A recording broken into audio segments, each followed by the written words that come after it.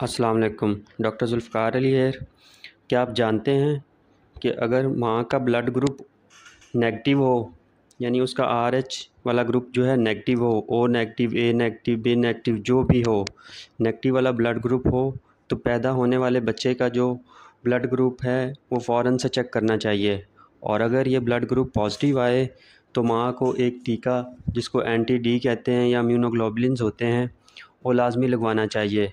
उससे ये होगा कि माँ के अंदर जो है रिएक्शन पैदा करने वाले एंटीबॉडीज़ नहीं बनेंगे और आइंदा हमल के दौरान पेचीदगी का कम से कम जो है, ख़दशा होगा।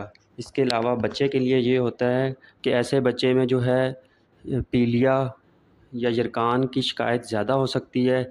इसलिए पहले दिन के आखिर पे या दूसरे दिन में जो है, अपने पीडियाट्रिशन चाइल्ड स्पेशलिस्ट को दिखाएँ और उसके जॉन्डस की असेसमेंट करवाएँ और अगर ज़रूरत महसूस हो तो उसका ट्रीटमेंट करें।